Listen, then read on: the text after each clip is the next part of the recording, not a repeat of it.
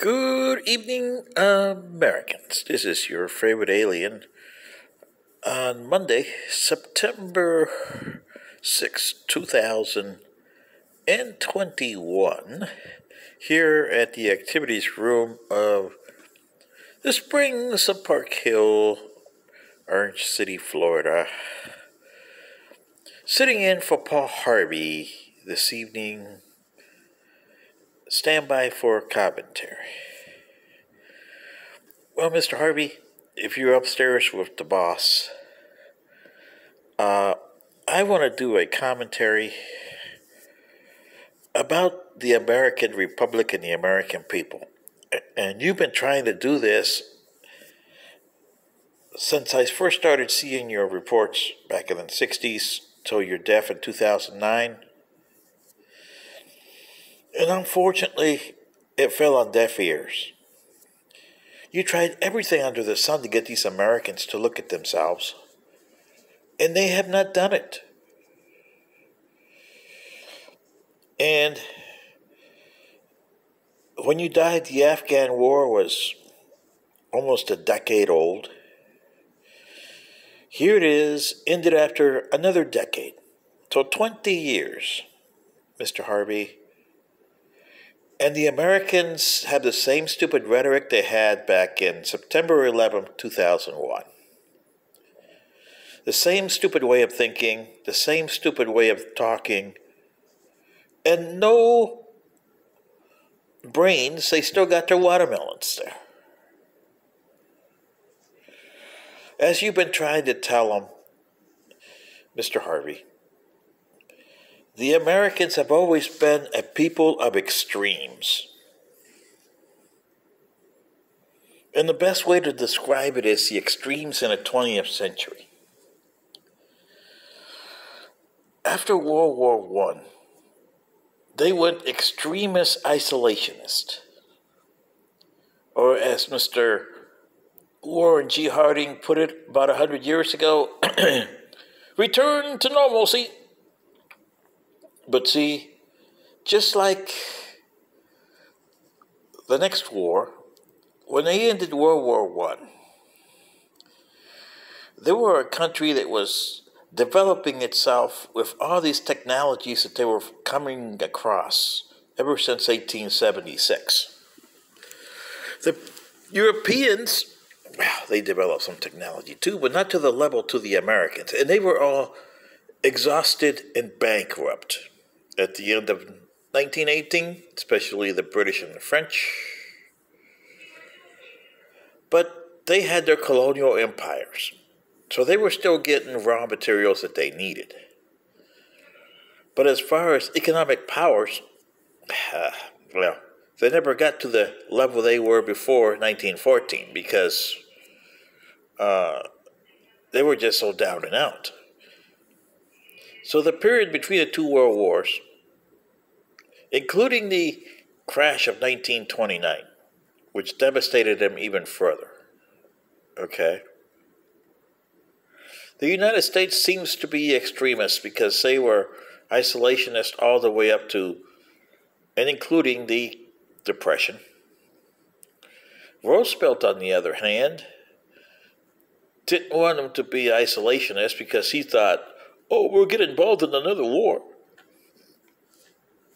Because during the Depression, you had governments falling all over the place, like Germany in 1993, or in 1923, pardon me, almost 100 years ago. The economy got so bad in Germany that uh, the Weimar Republic, as it was called then, you had people with wheelbarrows full of German marks and they couldn't buy a loaf of bread, not even a single heel of bread, with a wheelbarrow full of German marks. That's how bad the economy was for most European countries. In 1923. And this was before the crash actually happened in America.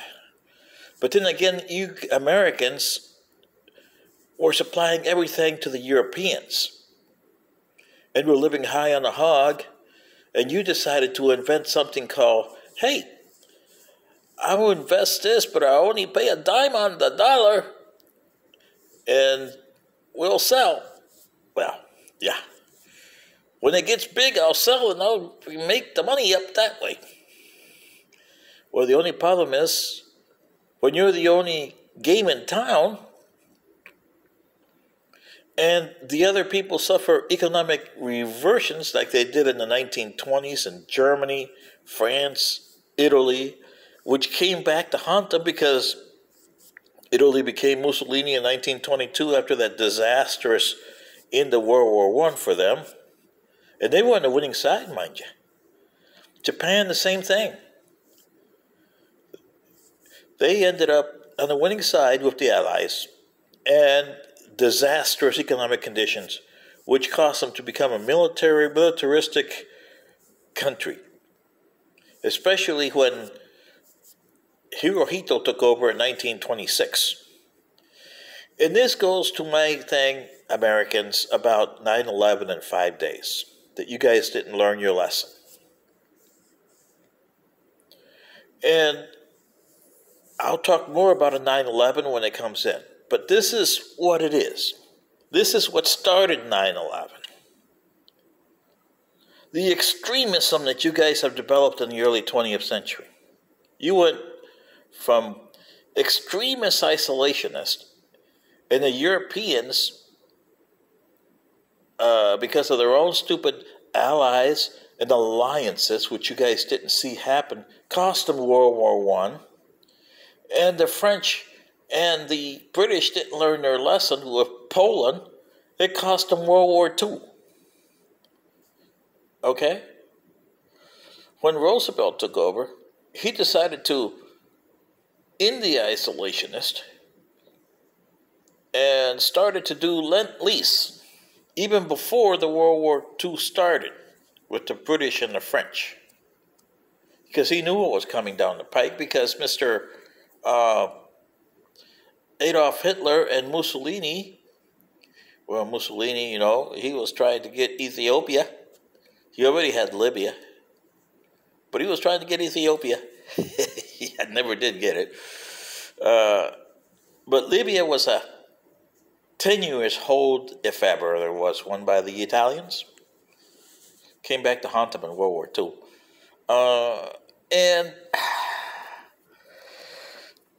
you Americans, well, I should say the Roosevelt administration, went from the isolationist Americans to underhanded Richard Nixon stuff with the Europeans uh, and propped up the British economy. Now, the British economy had suffered drastically during World War One, and they can deny it all they want, but they were in trouble. They were bankrupt. Same with the French. The French decided to, hey, let's take over the Ruhr over in Germany in 1923. Yeah.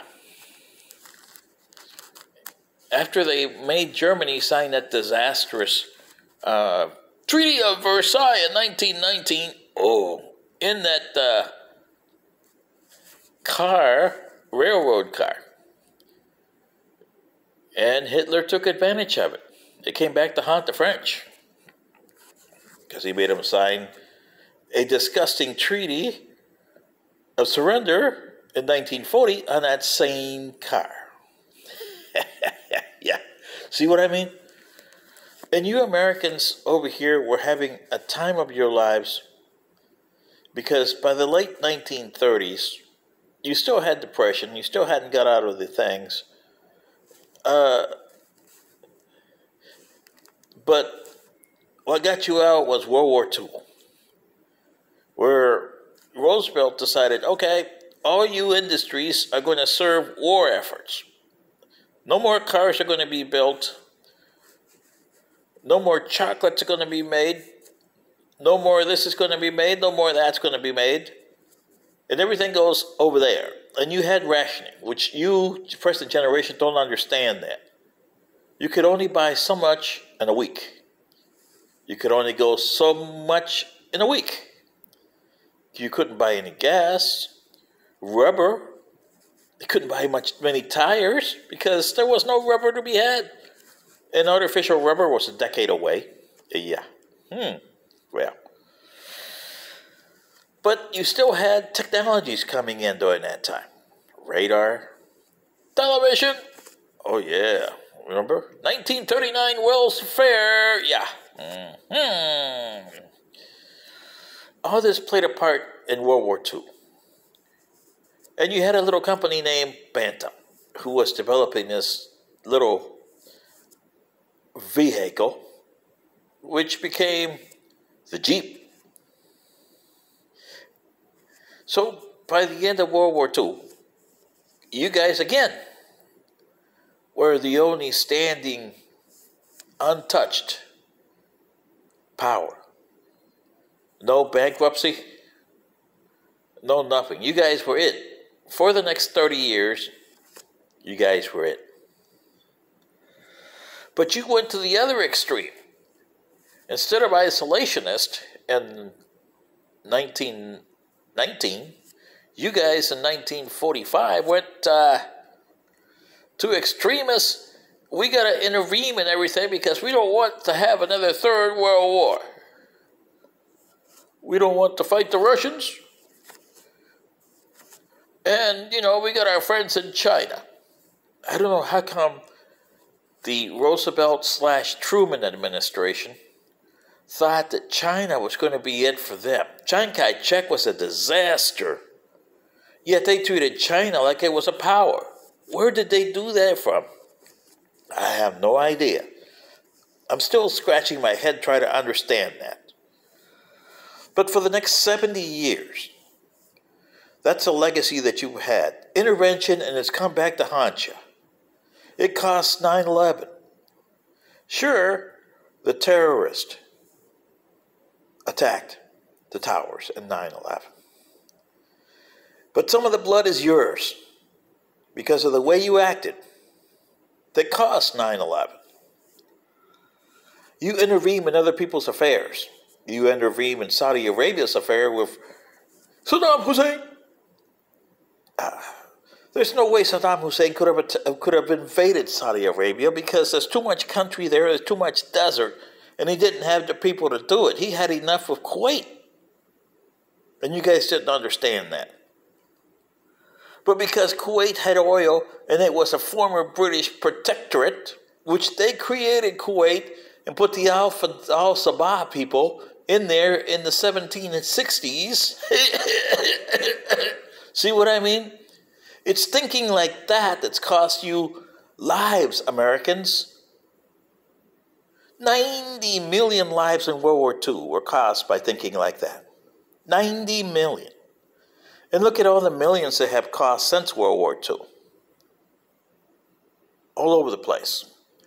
You guys have bled, what, 58,000, 38,000, uh, and a couple 10,000 or so if you add the rest of them.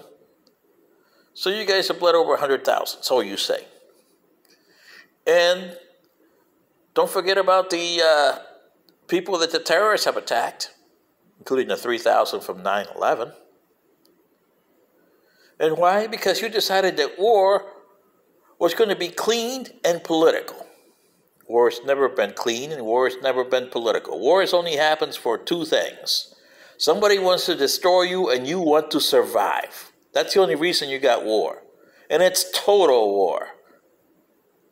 So if you guys, when you attacked Afghanistan in 2001, you know what the outcome was. Same as when you attacked the North Vietnamese in 1964 with the Gulf of Tonkin Resolution. Oh boy. you guys knew what the outcome was going to be. Disastrous on both ends. You can go in there, yeah, but the idea is how you're going to get out. You didn't know how to get out of Vietnam. And I would have thought that you would have learned your lesson and figure out if we go into Afghanistan like we did in Vietnam, how are we going to get out? Yeah? Well, Nixon negotiated a treaty with North Vietnam. And the North Vietnamese knew they had something like the Taliban knew they had something time, which the Americans didn't have. You never have time because you don't like time. So they did that treaty in 1973, and you didn't take the hint. Oh, well, South Vietnam's going to be a country of itself and it's going to defend itself. Really? When the North Vietnamese attacked in late uh, 1st of April, in 30 days, they captured all of South Vietnam. With all the equipment you left to South Vietnamese, and remember, you had 14 years that you had the South Vietnamese army, just like you said you had 20 years with the Afghan army. Same thing happened there, didn't it?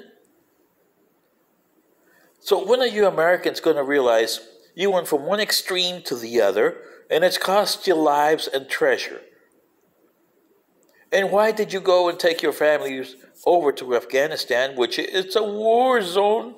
It's supposed to be, not a zone where you take your family members. You guys don't read your history too well, huh?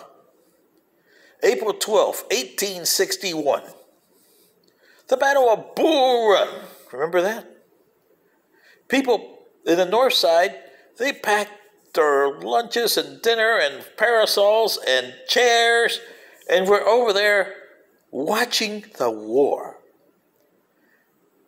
Unbeknownst that uh, the South didn't care if you were there, they were shooting at you. You don't remember that? They didn't teach you that in high school, people? Really? So it's about time that you look at yourselves, look at your leaders, and look at your country and say, what the heck are we doing for the last 70 years? It's cost us lives. Why? Sitting in for Paul Harvey and Mr. Harvey upstairs, I know you're a devout American patriot.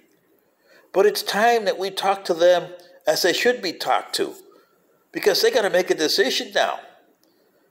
They only got 44 years left, a little under 44 years left. And right now, they got a decision to make with Joe, uh, Joseph Biden because look at that. What is the United States? What is it to be a United States citizen? States like Texas are messing up the citizenship. You're supposed to be a federation member of the United States. So they're United States citizens, federation citizens, not Texans. And a state is limiting their freedoms. Really? Do you understand what you're doing, Texas? Or Republicans? It's not a question of anti abortion and pro abortion. Forget about that. It's a question of do you understand what you're doing? So, as I said, sitting in for Paul Harvey, this is your favorite alien. Would you guys get your watermelons off your brains before you lose your country? Good day.